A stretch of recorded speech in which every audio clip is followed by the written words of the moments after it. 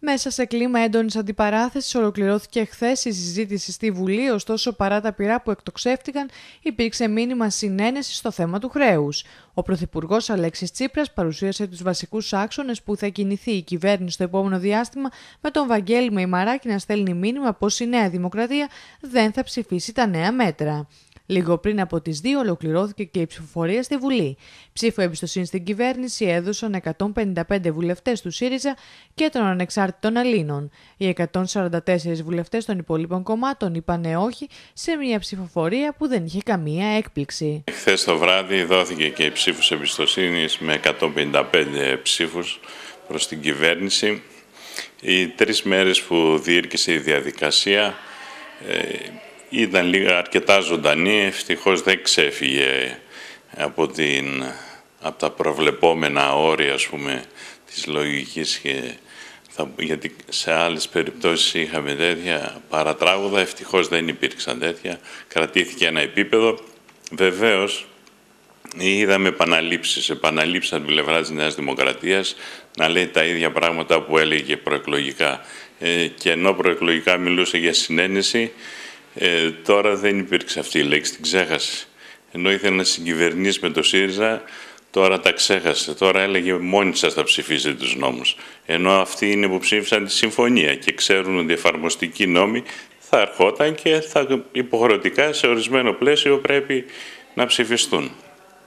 Από εκεί και μετά δείχνει ότι η Νέα Δημοκρατία ούτε συνένεση ήθελε ούτε τίποτα. Επίσης κάποια στιγμή ο Πρωθυπουργός άλλωστε τους είπε ότι προσπαθείτε να φανείτε σκληροί γιατί έχετε τώρα και τις κομματικές εκλογές και προσπαθείτε να δείξετε ποιος είναι πιο σκληρός από τον άλλο και αντιμνημονιακός. Δυστυχώς προτάσεις ιδιαίτερες δεν υπήρξαν από τα άλλα κόμματα στο πλαίσιο που θα μπορούσαν να γίνει μια συμφωνία και με την κυβέρνηση.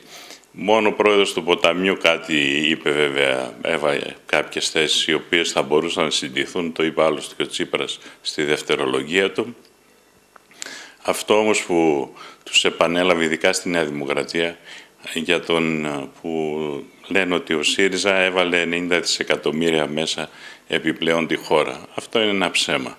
Το επανέλαβε ξεκάθαρο ο Πρωθυπουργός, είπε τα 85 δις που δανειζόμαστε με, το, με τη νέα συμφωνία αφορούν τα 53 θα πάνε στο χρέος, άρα δηλαδή ξοφλούμε παλιότερες οφειλές με καλύτερους όρους. Επίσης τα 25 αφορούν την ανακεφαλαιοποίηση των τραπεζών, Όσες τράπεζες βέβαια θα, έλουν, θα πάρουν από την ανακεφαλαιοποίηση και 7 δις θα δοθούν στους πιστωτές του ελληνικού δημοσίου που οφείλονται μέχρι τέλος της χρονιάς. Επίσης αυτό που είπε ο Πρωθυπουργός ότι αποτελεί παγκόσμια πρωτοτυπία να ανακεφαλαιώνουμε τις τράπεζες σαν κράτος και να μην συμμετέχουμε στη διοίκηση των τραπεζών. Να παραμένουν οι ίδιοι άνθρωποι. Γιατί σας θυμίζω ότι η ανακεφαλαιοποίηση με 50 δις έγινε για τα προηγούμενα μνημόνια, αλλά παρέμειναν οι ίδιες διοικήσεις.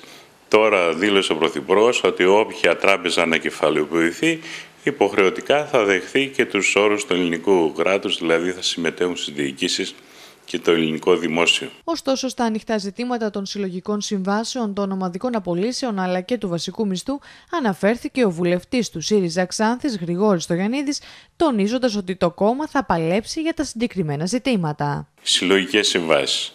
Ε, είναι ένα θέμα που έμεινε ανοιχτό, δεν έκλεισε με τη συμφωνία και θα προσπαθήσουμε όσο γίνεται με την μεσολάβηση του Διεθνούς Γραφείου Εργασίας να επανέλθουμε στο πλαίσιο που υπήρχε πριν τα μνημόνια. Οι, εργασ... οι ομαδικές απολύσεις. Στις ομαδικές απολύσεις και αυτές έμειναν ανοιχτό. Θεωρεί ο Πρωθυπουργός την επιτυχία γιατί οι δανειστές στην εποχή της συμφωνίας το καλοκαίρι πίεζαν για ομαδικές απολύσεις. Είναι ένα θέμα που έμεινε ανοιχτό. Εκεί θα υπάρξει και μεσολάβηση του Διεθνούς Γραφείου Εργασίας και εκεί πρέπει να στηριχθούμε και από τα άλλα κόμματα. Εκεί κάλεσε λοιπόν και η Νέα Δημοκρατία, αλλά δεν απάντησε κανείς αν θα στηρίξει αυτή την προσπάθεια να μην εφαρμοστούν οι ομαδικές απολύσεις. Εμείς βεβαίως ο ΣΥΡΙΖΑ δεν συμφωνούμε στι ομαδικές απολύσεις και η προσπάθεια είναι σε αυτό, ότι να σταματήσουν ε, να μην υπάρχουν ελεύθερες ομαδικές απολύσεις και η επαναφορά των συλλογικών συμβάσεων. Και επίσης σταδιακά να αποκατασταθεί και ο βασικός μισθός.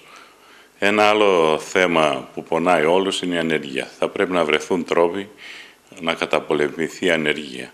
Δηλαδή, να βρεθούν τρόποι να δίνονται τουλάχιστον 100.000 νέες θέσεις εργασίας το χρόνο. Μόνο έτσι θα μειωθεί η ανεργία.